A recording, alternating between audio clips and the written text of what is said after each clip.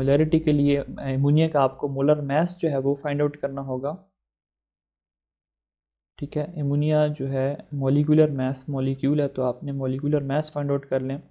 वो कैसे find out करते हैं कि आपके पास एक नाइट्रोजन है और थ्री आपके पास क्या हैं हाइड्रोजन एटम इसके अंदर मौजूद है। अब Aslam dear student this is lecturer Imran with I am chemist और आज की इस वीडियो लेक्चर में हम लोग मॉडल पेपर डिस्कस करने वाले हैं।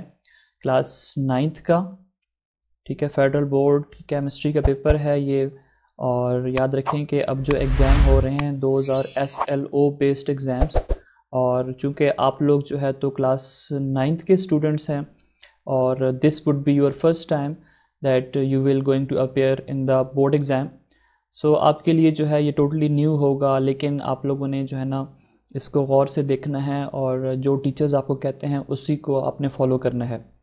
तो इस वीडियो में हम लोग डिस्कस करने वाले हैं इस चैप्टर के एम को। तो और साथ में आपको फॉर्मेट भी बता देता हूँ और साथ में ये भी बताऊँगा कि आपके एस एल बेस्ड क्वेश्चन जो हैं वो कैसे बनाए जाते हैं क्या वो एक्सरसाइज में से आते हैं सारे या फिर आपको बुक के चैप्टर में भी सी दिए जा सकते हैं कहीं से भी आपको उठा के दिए जा सकते हैं। सो so, पहले हम फॉर्मेट के अबाउट थोड़ी सी बात कर लेते हैं। सो so, जो आपका पेपर होगा ये आपके सामने है ठीक है ये मैंने मॉडल पेपर डाउनलोड किया हुआ है फेडरल बोर्ड की वेबसाइट से। और इसमें से आप लोग देख सकते हैं, यहाँ पर टॉप पे लिखा हुआ है वर्जन नंबर। अब ये वर्जन नंबर कहाँ से मिलेगा? ये वर्जन नंबर आपको मिलेगा जब आपको एम दिए जाएँगे, ठीक है? तो आपने करना क्या है कि उसके ऊपर टॉप पे देखेंगे तो आपको वर्जन नंबर नज़र आएगा। आपने वो यहाँ पे लिख देना है फोर डिजिट्स होंगे। जैसे for example one two three four तो हम यहाँ पे वन टू थ्री फोर लिख देंगे। और साथ में यहाँ पे क्या होते हैं कि बबल्स होते हैं, ठीक है? वो यहाँ पे मेरे पास पेज में है, थोड़ी सी मिस प्रिंटेड है। तो उसको आपने क्या करना होता है? यहाँ पे फिल करना होता है। वो मैं आपको किसी और वीडियो के अंदर सिखा दूँगा कि हम कैसे जो है तो उसको फिल कर सकते हैं। अगर आपने देखना हो तो इस वीडियो के डिस्क्रिप्शन में मैं आपको करके दिखा दूँगा। उसके साथ साथ आपको बोर्ड जो है तो एक रोल नंबर स्लिप इशू करेगा, ठीक है? वो क्या होगा कि उसके अंदर भी क्या होंगे? इस तरह के आपको डिजिट्स दिए जाएँगे। जैसे यहाँ पे देखिए सेवन नंबर बन रहे हैं, ठीक है? One two three four five six seven seven digit का आपका रोल नंबर होगा, ठीक है? आपको रोल नंबर स्लिप जब दिया जाएगा, उसके ऊपर लिखा होगा तो आपने क्या करना है? वो भी यहाँ पे फिल कर देना है। यहाँ पे भी क्या होते हैं? बबल्स होते हैं। उन बबल्स को आपने लाजमी फिल करना होता है। अब उसके बाद आपके पास आता है यहाँ पे आपकी आंसर शीट नंबर ठीक है? जो आपको एक आंसर शीट मिलेगी, ठीक है? जो ई शीट आपको दी जाएगी, उस ई शीट के ऊपर एक नंबर अपना लिखा होगा। और वो नंबर जो है वो आप लोगों ने यहाँ पे लिख देना है। जैसे मैं आपको यहाँ पे कर देता हूँ, one, two, three, four, five, six. तो वो आपने यहाँ पे लाजमी लिखना होता है। उसके बाद आप लोगों ने करना है क्या है कि आप लोगों ने अपना सिग्नेचर करना है। जो भी आपका साइन है, वो आप लोगों ने यहाँ पे कर देना है, ठीक है? तो मैं यहाँ पे अपना साइन कर देता हूँ। आप लोगों ने फिर यहाँ पे क्या करना होगा? अपना साइन करना होगा। ये जो है साइन ऑफ़ एनविजिलेटर इसके साथ आपका काम नहीं है। जो भी वहाँ पे टीचर खड़ा होगा, वो यहाँ पे आके क्या करेगा? अपना सिग्नेचर जो है वो करेगा। अब चलते हैं आगे हमारे पास पेपर की तरफ़। पेपर में हमारे पास क्या है? Chemistry SSC part one section A और इसके जो मार्क्स होते हैं, वो ट्वेल्व मार्क्स होते हैं, ठीक है? आपके पास ट्वेल्व एम होंगे, और हर एमसीक्यू का एक नंबर होगा तो इसका मतलब है कि आपके पास टोटल जो मार्क्स होंगे, वो ट्वेल्व मार्क्स होंगे, और इसके लिए आपको सिर्फ़ और सिर्फ़ ट्वेंटी मिनट्स दिए जाएँगे। आपने इनको ट्वेंटी मिनट्स के अंदर ही सॉल्व करना है, आपको एक्स्ट्रा टाइम जो है वो बिल्कुल भी नहीं दिया जाता है फेडरल बोर्ड के पेपर में। अब यहाँ पे कुछ इंपॉर्टेंट नोट नोट लिखा हुआ है। Section A is compulsory section A का मतलब ये है कि जो आपके पास ट्वेल्व एम हैं, ये आपने लाजमी करने हैं, इसके अंदर आपके पास कोई चॉइस नहीं होगी। All parts of this section are to be answered on this page and handed over to the centre superintendent कहता है कि इसके अंदर जितने भी पार्ट्स हैं ट्वेल्व पार्ट्स हैं, वो आपने लाजमी सारे के सारे अटैम्प्ट करने हैं। और अटैम्प्ट करने के बाद ये जो आपके पास पेपर है, ठीक है, ये आपने जो वहाँ पे टीचर्स खड़े होंगे, आपके ऊपर ड्यूटी करेंगे, उनको आपने ये रिटर्न करना है, इसको अपने घर नहीं लेके जाना। अगर आप इसको घर ले गए तो आपका पेपर जो है वो मिस होगा, और अगर आपका पेपर मिस होगा तो आपको मार्क्स नहीं दिए जाएँगे। अब इसमें जो चीज़ इंपॉर्टेंट है, जो समझने वाली है, वो ये है deleting over writing is not allowed अब इसका मतलब क्या है? इसका मतलब ये है कि हम लोग करते क्या हैं, जब एग्ज़ाम हॉल के अंदर बैठे होते हैं तो हमारे पास चार ऑप्शन होते हैं ए फिर बी सी और डी और यहाँ पे हमारे पास इसके आंसर्स होते हैं फिर हम क्या करते हैं उनको फिल करते हैं। अब होता ये है कि हमें लगता है कि ए ऑप्शन जो है वो ठीक है तो हम इसको ऐसे फिल कर लेते हैं। थोड़ी देर बाद हमें अपना फ्रेंड साइड में बैठा हुआ बता देता है या हमारे अक्ल में आ जाता है कि नहीं ए तो ठीक नहीं है डी ऑप्शन करेक्ट है तो हम क्या करते हैं कि यहाँ पे डी को फिल कर लेते हैं और यहाँ पे क्या कर लेते हैं इसको क्रॉस कर देते हैं। सो so, इस ये क्रॉस करना जो है इसको आप क्या कहते हो डिलीटिंग और ये जो आपके पास या ओवर राइटिंग ये जो आपके पास डी को आप फिल कर ले तो एक ही जगह पे आप डी को, इसका मतलब आपने एट अ टाइम दो सर्कल जो है फिल कर लिए तो ये आपके पास क्या होगा? क्रॉस हो जाएगा और अगर आपने एक MCQ में इस तरह की है तो आपको कितने मार्क्स मिलेंगे? ज़ीरो आउट ऑफ़ वन ठीक है? उस उस एमसीक्यू में आपको ज़ीरो मार्क्स मिलेंगे। क्यों? क्योंकि आपने इसके अंदर क्या किया? डिलीटिंग की है या ओवर की है। और उसके अलावा जो इम्पोर्टेंट चीज़ है, वो ये है कि do not use lead pencil आप जब भी एम फिल करते हो तो आप लोगों ने क्या करना है कि अपना जो बाल पॉइंट है, ठीक है, या ब्लू या फिर ब्लैक कलर का बाल पॉइंट आप लोगों ने यूज़ करना होता है। अब चलते हैं पेपर की तरफ़। एम सी क्यूज़ हैं fill the relevant bubbles for each part each part carries one mark जो आप, मैं पहले बता चुका हूँ, यहाँ पे एक ही नंबर होता है। और यहाँ पे आपको क्या है बबल्स गिवन है। आपने क्या करना है, इन बबल्स को ऐसे फिल करना होता है। अब पहले जो एम है, वो कहता है, क्या है कि which of the following charge ion will be formed by an element of group two A having electronic configuration of this अब यहाँ पे क्या चीज़ आपको गिवन है? इलेक्ट्रॉनिक कन्फिग्रेशन गिवन है ना?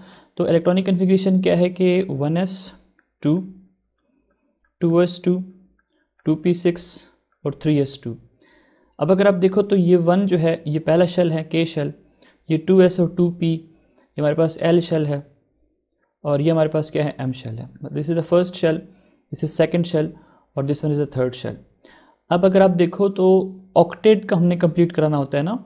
ऑक्टेट में क्या होता है कि हमारे पास एट इलेक्ट्रॉन्स होते हैं। अब एट इलेक्ट्रॉन्स हमने फिल करने हैं तो एट इलेक्ट्रॉन्स तो यहाँ पे फिल होंगे। One S two two S two two P six ये जो दो हैं, ये क्या होंगे? एक्स्ट्रा होंगे। अब होगा क्या कि जब आपके पास एक एटम है, ये दो इलेक्ट्रॉन लूज़ करेगा। तब क्या होगा? ये स्टेबल होगा। जब दो इलेक्ट्रॉन लूज होंगे तो हमारे पास जो कन्फिग्रेशन बनेगी, वो क्या होगी? One S two two S two two P six दो इलेक्ट्रॉन लूज एटम जब करेगा तो उसके ऊपर चार्ज क्या आएगा? पॉजिटिव चार्ज आ जाएगा। और अगर हम उस एटम को ए के साथ रिप्रेजेंट करेंगे तो ए के ऊपर चार्ज क्या होगा? पॉजिटिव टू क्यों? क्योंकि यहाँ पे कितने इलेक्ट्रॉन्स लॉस करवाने आपने? दो इलेक्ट्रॉन आपने लॉस करवाने हैं तो वो डाई पॉजिटिव कैटाइन बनेगा, ठीक है? तो ऑप्शन नंबर बी यहाँ पे क्या है? करेक्ट है। तो हम इसको ऐसे ये फिल कर लेंगे। अब फिल करने का तरीका भी आपके पास ये है। कुछ स्टूडेंट क्या करते हैं कि वो सिर्फ़ यहाँ पे एक डॉट लगा के आ जाते हैं। कुछ ये यहाँ पे टिक कर देते हैं। कुछ जो है तो इसको हाफ़ फिल कर लेते हैं। अब ये सारे के सारे गलत हैं। करेक्ट क्या है? जैसे मैंने यहाँ पे इसको फिल कर दिया, ठीक है? तो इस तरह आपने क्या करना है? इसको फिल करना है। M C Q number second की तरफ़ मूव करते हैं। सेकंड में क्या कह रहा है कि which of the following pair of sub shell has the lowest energy as compared to other pair of sub shells अब वेरियस ऑप्शन आर गिवन आपने देखना है कि इसमें से ऐसा कौन सा सब शेल है जिसकी लोवेस्ट एनर्जी होती है। तो अगर आपको, आपके टीचर ने कराया होगा इलेक्ट्रॉनिक कन्फिग्रेशन का टेबल इलेक्ट्रॉनिक इलेक्ट्रॉनिक कन्फिग्रेशन का टेबल कैसे आप ड्रॉ करते हो? आप लिखते हो ना one S two two S two three S two फिर फोर एस टू फिर फाइव एस टू यहाँ पर आप लिखते हो two P six, three P six, four P six और five P six. Then three D ten, four D ten, five D ten और फिर four F fourteen and five F fourteen. अब इसकी आप जो फिलिंग करते हो वो किस तरह करते हो? फिलिंग आप ऐसे करते हो कि पहले इसको फिल करते हो वन एस टू को फिर टू एस टू को फिर टू पी सिक्स और three S two, three P six और four S two, three D ten और five S two and so on. अब अगर आप देखो तो एनर्जी जो है, ये लो से हाई की तरफ़ क्या होती है? इंक्रीज़ होती है। इसका मतलब है वन एस जो है वो लोवेस्ट एनर्जी पे होता है और जो आपके पास फोर एस है, फाइव एस है एंड सो ऑन, ये हमारे पास क्या होते हैं? हाई एनर्जी की तरफ़ हम मूव कर रहे होते हैं। तो अफबाउस प्रिंसिपल आप लोगों को टीचर ने पढ़ाया होगा सेकंड चैप्टर के अंदर। वो क्या कहता है कि आपने पहले लोवेस्ट ऑर्बिटॉल को लोवेस्ट एनर्जी ऑर्बिटॉल को फिल करना होता है, फिर आप हाई की तरफ़ जाते हो। जैसे आप, आपको कोई बिल्डिंग के ऊपर चढ़ना है तो स्टेयर्स होंगी तो आप पहले छोटी वाली स्टेयर के ऊपर पाँव रखते हो, फिर सेकंड पे, फिर थर्ड पे फोर्थ पे एंड सो ऑन यहाँ पे भी क्या होता है कि पहले आपने वन एस को फिल करना होता है, फिर उसके बाद टू एस को and then two P six और three S two and so on आगे आपने मूव करना होता है। तो यहाँ पे देखिए सबसे लोवेस्ट पे कौन सा है? वन एस टू है, फिर कौन सा है? टू एस टू है। तो यही आपके पास करेक्ट ऑप्शन है। ऑप्शन नंबर ए आपने यहाँ पे इसको फिल कर देना। सो ऑप्शन नंबर ए यहाँ पे हमारे पास क्या है? करेक्ट है। ये हमारे पास सबसे लोवेस्ट एनर्जी के ऊपर मौजूद है। अगर हम टू एस टू पी की बात करते हैं तो टू एस और टू पी ज़्यादा एनर्जी की तरफ़ जा रहा है। फिर थ्री एस और थ्री पी और ज़्यादा एनर्जी की तरफ़ जा रहा है। फिर थ्री एस और फोर एस। ये सबसे ज़्यादा फोर एस यहाँ पर सबसे क्या है? हाईएस्ट की तरफ़ जा रहे हैं जो आपके पास गिवन ऑप्शन है। सो ऑप्शन नंबर ए जो है यहाँ पे करेक्ट है तो हमने इसका बबल जो है वह वैसे फिल कर देना M C Q number three क्या कहता है? Which one of the following isotope is use in nuclear reactor अब आपके पास आइसोटोप्स आपको टीचर्स ने पढ़ाए होंगे, ठीक है? कार्बन के आइसोटोप्स हैं हाइड्रोजन के आइसोटोप्स हैं यूरेनियम के आइसोटोप्स हैं क्लोरीन के आइसोटोप्स आपको टीचर्स ने पढ़ाए हुए हैं। ये वहाँ से इस क्वेश्चन को पिक किया गया है। अब न्यूक्लियर रिएक्टर के अंदर यूरेनियम का कौन सा आइसोटोप यूज़ होता है? So that is uranium two thirty five इसको आप लोगों ने याद करना है। और यहाँ पर हम क्या कर देते हैं? सी के सामने जो बबल है, उसको ऐसे फिल कर देते हैं। Then M C Q number four क्या कह रहा है कि how many molecule of oxygen gas contain one mole of oxygen gas अब आपके पास कह रहा है कि वन मोल ऑक्सीजन गैस है। You have one mole oxygen gas इसके अंदर मॉलिक्यूल्स कितने होंगे? अगर आपको याद हो तो आपको मैंने एवगैडो नंबर्स में पढ़ाया था कि अगर आपके पास कोई भी वन मोल सब्सटेंस है, ठीक है, चाहे वो एटम है, चाहे वो आयन है, चाहे वो मॉलिक्यूल है that is equal to N A और एन ए क्या होता है? That is Avogadro number. और एवेगैडो नंबर किसकी इक्वल होता है? Six point zero two two multiply by ten raise to power twenty three अब मॉलिक्यूल है तो मॉलिक्यूल लगा दो एटम है तो एटम लगा दो आयन है तो फिर आयन लगा दो। यहाँ पे हमारे पास वन मोल ऑक्सीजन गैस है। मॉलिक्यूल्स पूछ रहा है तो उसके अंदर मॉलिक्यूल्स होंगे। वेगैडो नंबर ऑफ़ मॉलिक्यूल्स की equal so option number B यहाँ पे क्या है? करेक्ट है। नेक्स्ट एमसीक्यू हमारे पास एमसीक्यू नंबर फाइव है और इसमें क्या हमसे पूछ रहा है? Variable that is kept constant in Charles law अब हम लोग क्या करते हैं? चार्ल्स ला के बारे में पढ़ते हैं। दो टाइप के लाज आपकी बुक में गिवन है। एक चार्ल्स चार्ल्स ला है और दूसरा हमारे पास बॉयल्स ला है। बॉयल्स ला अब अब इससे पहले आपको बता दूँ कि जब हम गैसेस पढ़ते हैं ना तो गैसेस में हम लोग चार चीज़ें पढ़ते हैं। एक हम पढ़ते हैं प्रेशर एक हम पढ़ते हैं वॉल्यूम एक हम पढ़ते हैं टेम्परेचर और एक हम पढ़ते हैं नंबर ऑफ़ मोल्स प्रेशर को हम पी से रिप्रेजेंट करते हैं वॉल्यूम को हम वी से रिप्रेजेंट करते हैं टेम्परेचर को हम टी से रिप्रेजेंट करते हैं और नंबर ऑफ़ मोल्स को हम स्मॉल एन के साथ रिप्रेजेंट करते हैं। ये वो चार चीज़ें हैं जो हम गैस लास के अंदर पढ़ते हैं।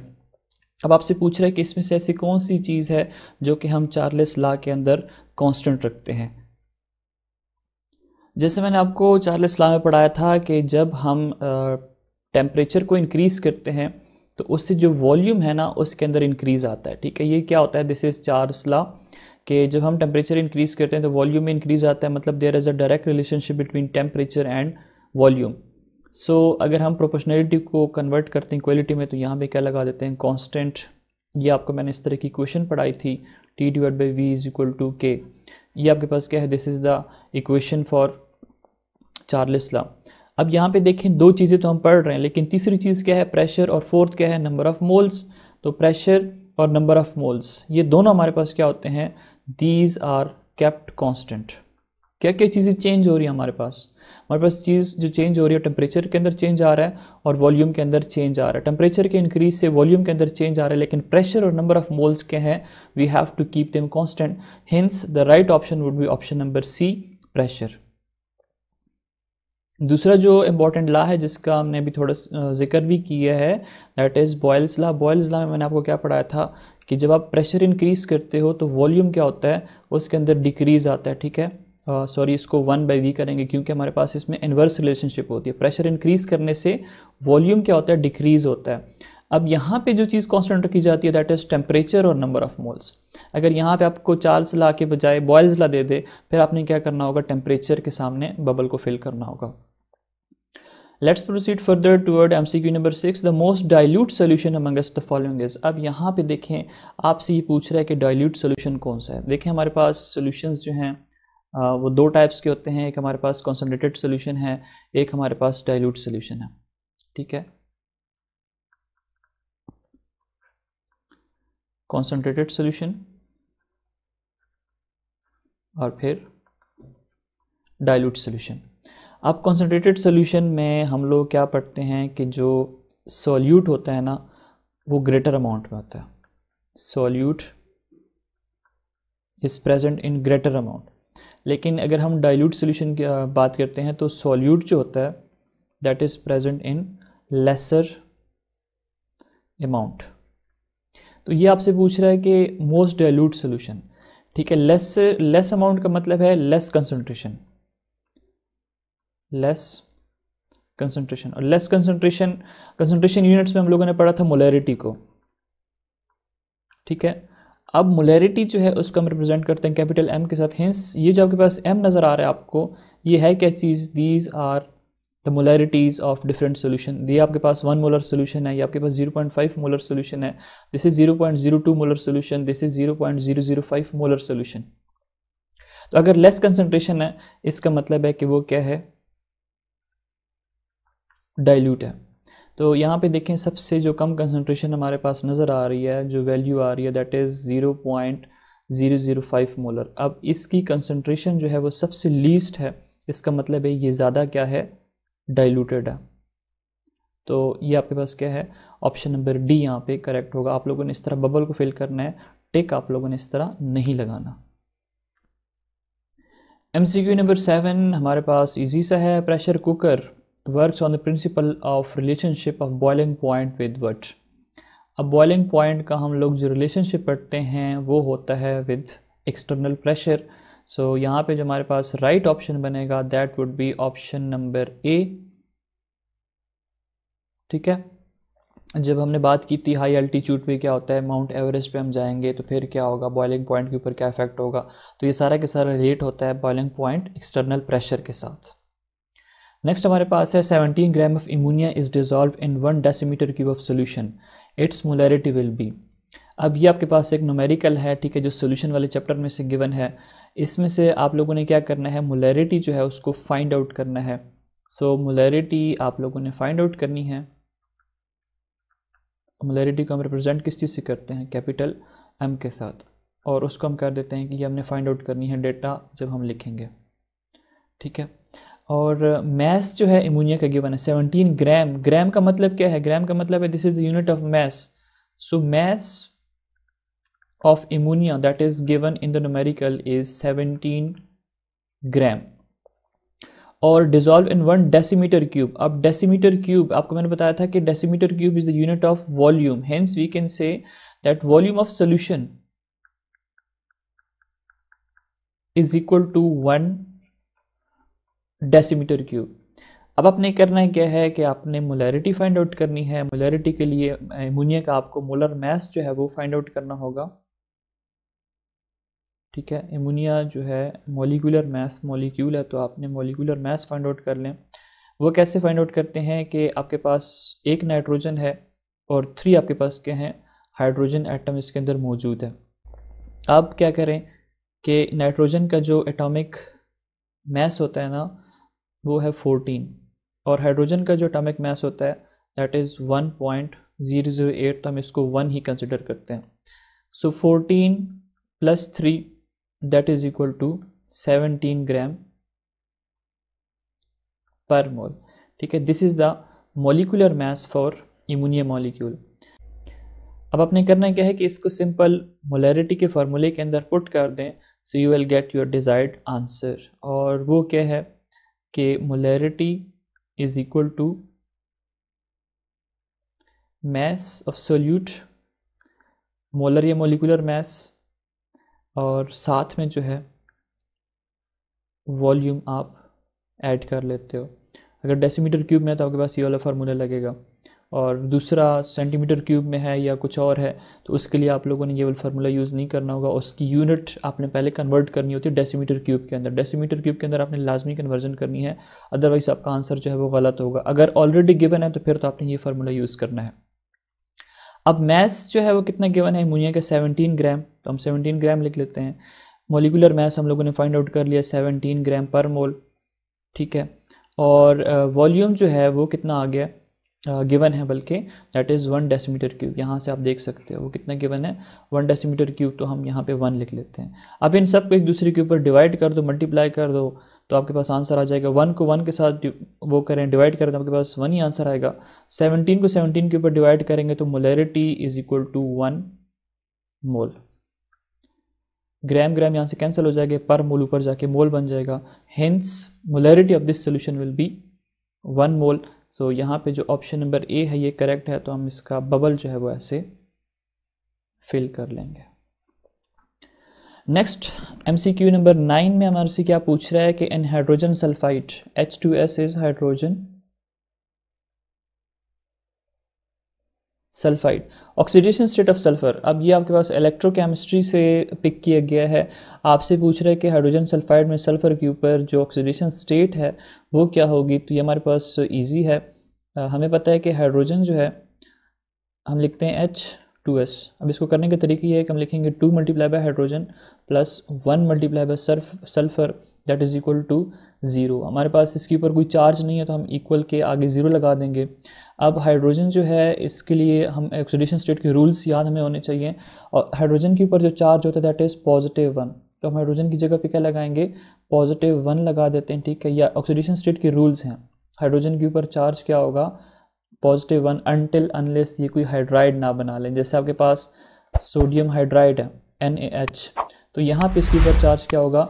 नेगेटिव वन होगा। अदरवाइज़ हाइड्राइड के अलावा, जितने भी आपके पास, जहाँ पे भी ये बाइंड होगा तो वहाँ पे चार्ज इसके ऊपर पॉजिटिव वन होगा। तो हम लिखेंगे two multiply by positive one sulphur की जगह हम क्या लगा देते हैं? एक्स क्योंकि इसके लिए जो वैल्यू है, वो हम लोगों ने फाइंड आउट करनी है that is equal to zero अब टू को अगर हम मल्टीप्लाई कर देते हैं पॉजिटिव वन के साथ, इसको स्टूडेंट हम यहाँ पे कर लेते हैं, ताकि हमें इसकी सही समझ आ जाए। हम लिखते हैं ना two multiply by hydrogen plus one multiply by sulphur that is equal to zero अब हाइड्रोजन के लिए जो स्टेट होती है that is that is positive one और सल्फ़र uh, की जगह पे हमने एक्स लिख देना है क्योंकि इसके लिए तो हमने स्टेट फाइंड आउट करनी है। हमसे यही पूछ रहे हैं कि what is the oxidation state of sulphur in it अब टू को अगर पॉजिटिव वन के साथ मल्टीप्लाई करोगे तो आपके पास आंसर क्या आएगा? पॉजिटिव टू ही आएगा।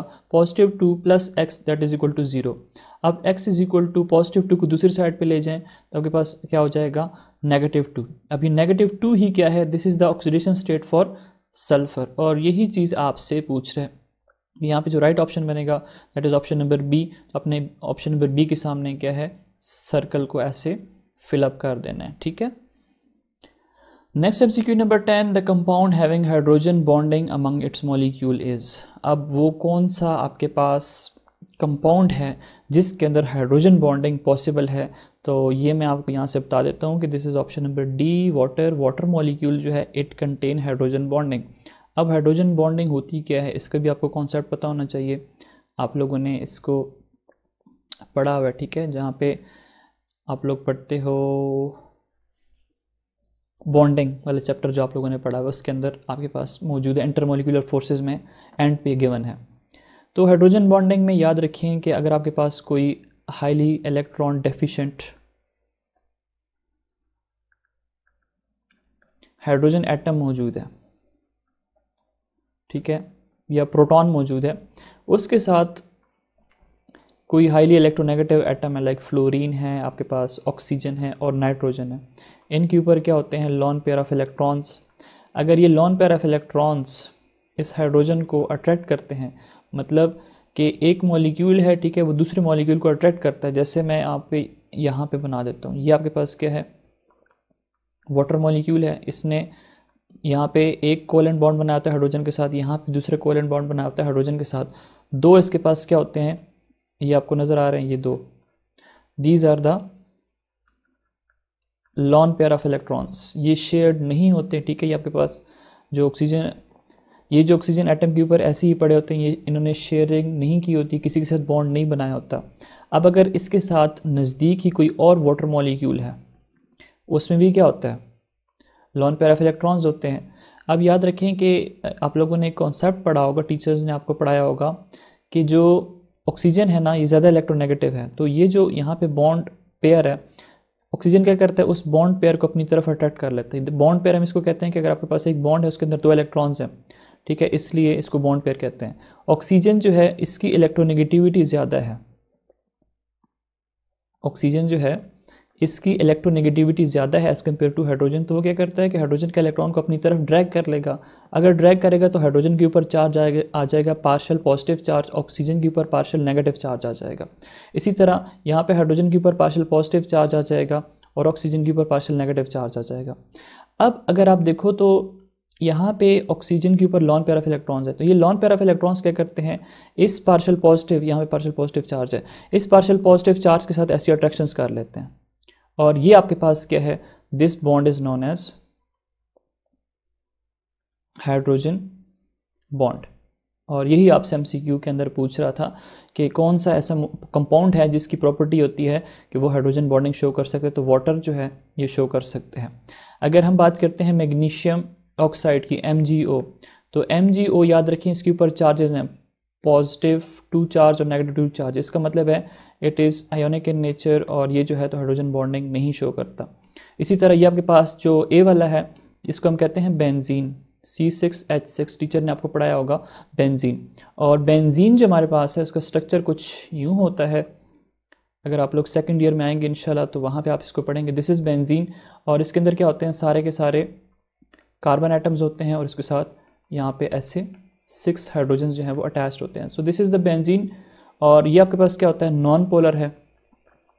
इसके अंदर ऑक्सीजन या फ्लोरीन या नाइट्रोजन मौजूद ही नहीं है तो इसलिए ये भी हाइड्रोजन बॉन्डिंग शो नहीं कर सकता। उसके बाद मीथेन है, ठीक है? सी एच फोर को आप क्या बोलते हो? This is known as methane अब मीथेन में क्या होता है कि मीथेन में भी आपके पास एक कार्बन है, उसने चार बॉन्ड बनाए होते हैं हाइड्रोजन एटम के साथ। अब यहाँ पे भी कोई आपको फ्लोरीन नज़र नहीं आ रहा ऑक्सीजन नज़र नहीं आ रहा नाइट्रोजन नज़र नहीं आ रहा कोवलेंट बॉन्डिंग हुई हुई है यहाँ पे हाइड्रोजन के साथ कार्बन की। तो ये भी हाइड्रोजन बॉन्डिंग शो नहीं करता। सो पीछे आपके पास क्या रह जाता है? Water so water has the ability to to so water has the ability to show hydrogen bonding hence option number D would be correct next हमारे पास है M C Q number eleven metallic character increases down the group which one of the following is the most metallic अब यहाँ पे already इसने statement में आपको बता दिया है कि metallic character increases down the group ठीक है? जैसे ही आप टॉप टू बॉटम मूव करते हो ग्रुप्स के अंदर तो मेटेलिक करेक्टर जो है वो इंक्रीज़ हो रहा होता है। लेकिन अब इसके अंदर जो चीज़ आपने करनी है वो ये है कि आपको जो पीरियोडिक टेबल के ग्रुप्स हैं, ठीक है? लाइक ग्रुप वन ए आपको पता होना चाहिए ग्रुप टू ए के मेंबर्स आपको पता होने चाहिए ग्रुप सेवन्थ ए के जो मेंबर्स हैं हेलोजेंस वो पता होने चाहिए, और ग्रुप एट्थ ए के अंदर जो नोबल गैसेस हैं, वो आपको पता होनी चाहिए, याद होनी चाहिए। इस तरह के ट्रेंड्स आपसे पूछ सकते हैं। इसी तरह जब आपके पास सेकेंड पीरियड है, ठीक है? सेकेंड पीरियड जो है, वो भी आपको याद होना चाहिए। जब आप लेफ़्ट टू राइट मूव करते हो, पहले तो हाइड्रोजन और हीलियम का है। सेकेंड जो आपके पास, जहाँ पे आपके पास लिथियम है, फिर बेरिलियम है एंड सो ऑन ये आपको याद होना चाहिए, क्योंकि इससे आपको वो क्वेश्चन दे सकता है। एनीवेज इस क्वेश्चन को डिस्कस कर लेते हैं। जो हमारे पास ग्रुप वन ए के मेंबर है, ये सारे ग्रुप वन ए के ही मेंबर्स हैं। तो ग्रुप वन ए में टॉप पे हमारे पास होता है हाइड्रोजन फिर हमारे पास होता है लिथियम फिर हमारे पास होता है सोडियम और सोडियम के नीचे होता है पोटाशियम फिर होता है रुबीडियम और फिर होता है सीजियम और फिर होता है फ्रेंसियम अब आपसे पूछ रहा है कि metallic character increases down the group which one is the most metallic तो ऑब्वियसली जो हम जितने नीचे आएँगे, उतना ही वो क्या होगा, ज़्यादा मेटालिक होता जाएगा like hydrogen lithium sodium potassium rubidium caesium और सीजियम तक ही गिवन है। फ्रेंसियम को हम लोग पढ़ते नहीं क्योंकि ये रेडिएक्टिव होता है तो हम सीजियम तक ही पढ़ते हैं। तो यहाँ पे जो मोस्ट मेटालिक है, इन सब में सबसे डाउनवर्ड वो कौन सा है? सीजियम आ रहा है। Hence option number B is correct so हमने क्या करना है? बी के सामने सर्कल को ऐसे फिल कर देना बबल को ऐसे फिल कर देना। The last MCQ of this model paper is the most electronegative element in the group 7th A. Group seven A जो है इनको हम हेलोजेंस कहते हैं। और इनको हेलोजेंस क्यों कहते हैं? Because they are salt former जब कभी ये मेटल के साथ रिएक्ट करते हैं तो फिर उसे क्या बनता है? आ, क्या बनाते हैं? सॉल्ट बनाते हैं। जैसे सोडियम मेटल है इसके साथ क्लोरीन ग्रुप सेवन ए का मेंबर है इसको रिएक्ट करवा दें तो आपके पास एन बन जाता है जिसको आप टेबल सॉल्ट कहते हो। अब ग्रुप सेवेंथ ए के जो मेंबर्स हैं, वो कौन कौन से होते हैं? दे आर फ्लोरीन फिर आपके पास होता है क्लोरीन फिर आपके पास होता है ब्रोमीन देन आपके पास होता है आयोडीन ठीक है? एंड पे एक और भी होता है एस्टिटीन, लेकिन एस्टिटीन भी हमारे पास क्या है? रेयर है और ये रेडियोक्टिव होता है। तो इसकी भी जो केमिस्ट्री होती है, वो हम लोग नहीं पढ़ते।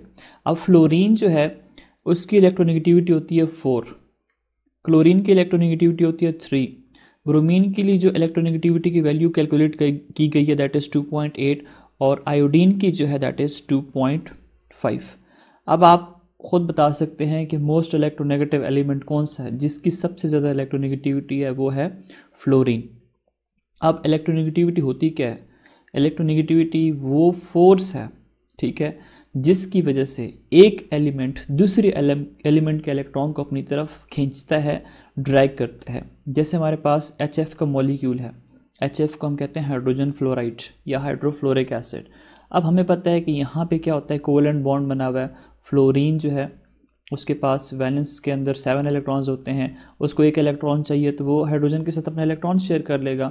हेंस फ्लोरीन का भी ऑक्टेट कंप्लीट हो जाएगा। हाइड्रोजन के पास एक इलेक्ट्रॉन होता है, दूसरा फ्लोरीन उसके साथ शेयर कर लेता है तो इसका डुबलेट कंप्लीट हो जाता है। लेकिन इसमें होता यह है कि फ्लोरीन जो है, ये ज़्यादा पावरफुल होता है तो ये करता है क्या है कि फ्लोरीन हाइड्रोजन के इलेक्ट्रॉन को भी अपनी तरफ़ खींच लेता है। और यहाँ partial positive partial negative charges आ जाते हैं। अब ये क्यों आ रहे हैं? क्योंकि फ्लोरीन ज़्यादा इलेक्ट्रोनेगेटिव होता है, उसकी पावर जो है इलेक्ट्रॉन्स किसी दूसरे एटम के इलेक्ट्रॉन को खींचने की जो पावर है, या जो फोर्स है, वो ज़्यादा है। और इसी फोर्स या पावर को हम क्या कहते हैं? इलेक्ट्रोनेगेटिविटी और याद रखें कि सबसे जो ज़्यादा इलेक्ट्रोनेगेटिव एलिमेंट है पीरियोडिक टेबल का, वो हमारे पास कौन सा है? फ्लोरीन और पॉलिंग स्केल एक स्केल है जिसके थ्रू हम क्या करते हैं? इलेक्ट्रोनेगेटिविटी मैयर करते हैं, उस स्केल के मुताबिक फ्लोरीन जो है, वो सबसे ज़्यादा इलेक्ट्रोनेगेटिव एलिमेंट है पूरे पीरियोडिक टेबल का। ये एक इंपॉर्टेंट क्वेश्चन है। तो स्टूडेंट ये तो था आपके पास मॉडल पेपर ठीक है, जो बोर्ड के वेबसाइट पे भी मौजूद है, उसका सोल्यूशन भी है, लेकिन वहाँ पे करेक्ट ऑप्शंस गिवन है, मैंने आप आपको पूरा एक्सप्लेनेशन के साथ समझा दिया है। बट स्टिल अगर आपको कोई डाउट है, किसी भी टॉपिक के केमिस्ट्री क्लास नाइन्थ के किसी भी टॉपिक में कोई डाउट है तो आप कमेंट सेक्शन में मेंशन कर सकते हैं। मैं उस पर आपके लिए वीडियो जो है, जल्द से जल्द अपलोड कर दूँगा। Thanks for watching and stay connected with my YouTube channel